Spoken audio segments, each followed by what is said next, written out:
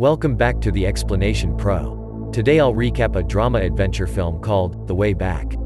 Spoilers incoming. The movie begins during World War II. Janicek, a Polish army officer, is being questioned by one of the Soviet commanders in Poland. Since Janicek refuses to admit being a Soviet spy, they had to torture his wife to accept the allegations. In fact, the Soviets forced the wife to sign a confession statement as proof of her guilt. They try to extract a statement condemning him from his wife under pressure. For the next 20 years, he will be held in a labor camp in Siberia's Gulag.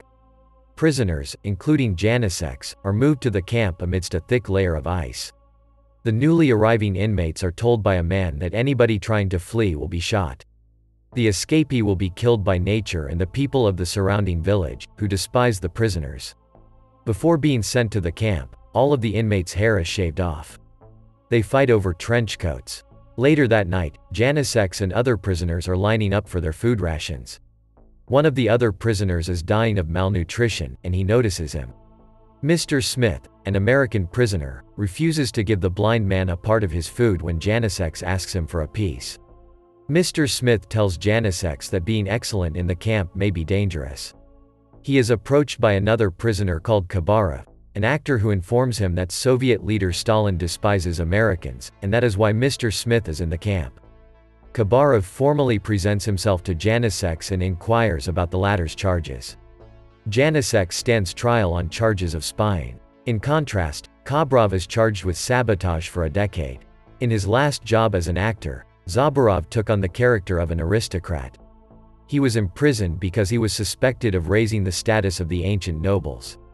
Both of them enter the cabin at once. Volka has played cards with another prisoner at the cabin, a hardcore Russian criminal. When Janicek tries to gaze at Volka, Kabarov tells him he will die.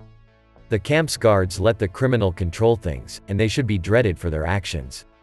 A year inside is all it will take for Kabarov to tell him that Stalin has eyes and ears everywhere, so he must be very cautious in what he does.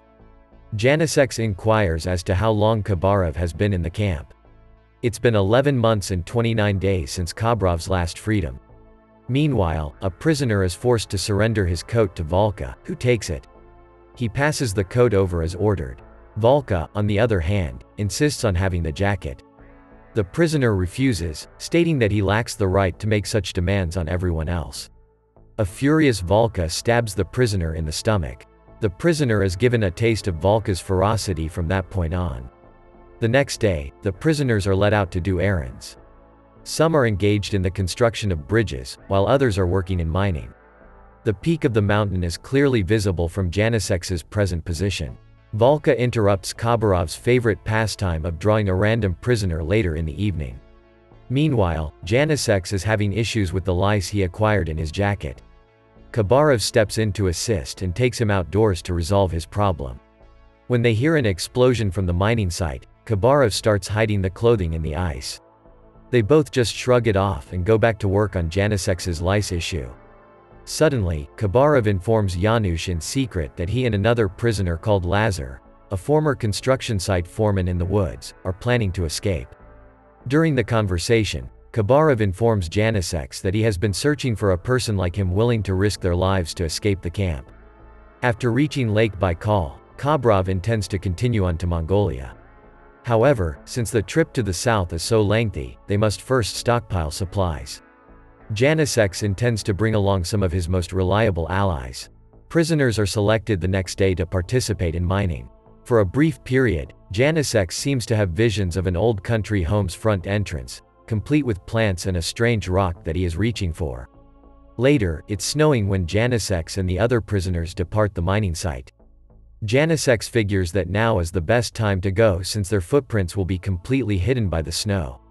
However, it comes out that Kabarov is frightened and unsure of his ability to pack up and leave. Janicek chooses to carry out Kabarov's dream to keep his morale. A Polish man who is blind at night, Kazak and Voss, a Latvian priest and a Yugoslav accountant, Voss and Zoran have begun exchanging supplies for their escape in addition to the escapee. As Janicek waits for the lights to go out, Volka appears beside him with a knife to the throat. Janicek agrees to include Volka in the escape plot once the latter insists on it. A little while later, when the snow fell harder, Janiseks and the other prisoners manage to leave the camp and make their way to freedom. Due to the thick snowfall, the guards cannot see where they are heading. They let the dogs go, too. The prisoners continue until the cold has taken its toll on several escaped prisoners. Even yet, Janiseks manages to come up with a plan to keep going. On the second day of their journey, the prisoners discuss their travel time. There is a lot of food to go around, so they share it with each other. Mr. Smith, Volka, and Janiseks are exploring the woods searching for clues as to where they should go next. They continue on their journey as the snow begins to fall hard. For the second time in a few hours, they take a break from their journey. Lake Baikal will not be reached for another three to four weeks. The prisoners and Janiseks are planning their next plan of action to consider how to survive the epic journey ahead. Mr. Smith, Kazakh, and Janiseks have gone to the forest to gather dry trees for the campfire. When Mr. Smith attempts to contact Kazakh, he receives no response. Kazakh suffers from night blindness, therefore, he must return to the area before it becomes dark.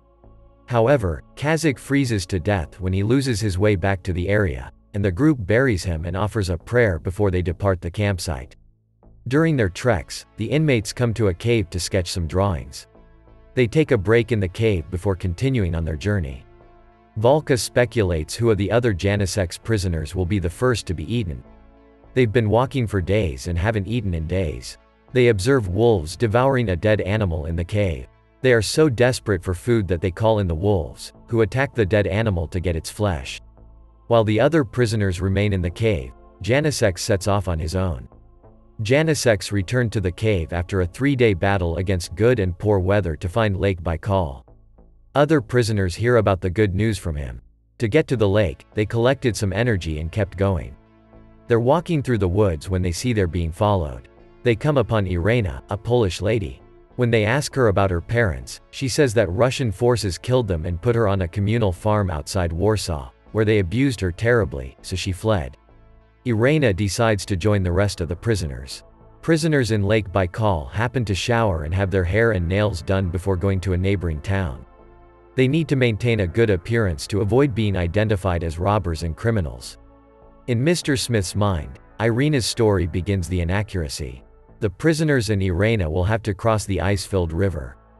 Janiseks, on the other hand, believes that the ice will not be able to support their weight so they intend to swim the river instead. Irena sprinted over the river as quickly as she could to join the rest of the prisoners, all of whom were following her. Not long after that, Mr. Smith starts asking Irena questions unrelated to anything she said to the group thus far.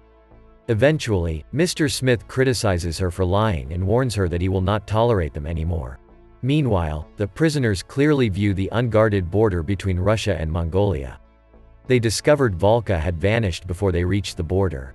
They have reason to believe that he will abandon the mission and turn them into the Soviets. It's only that their suspicions are unjustified.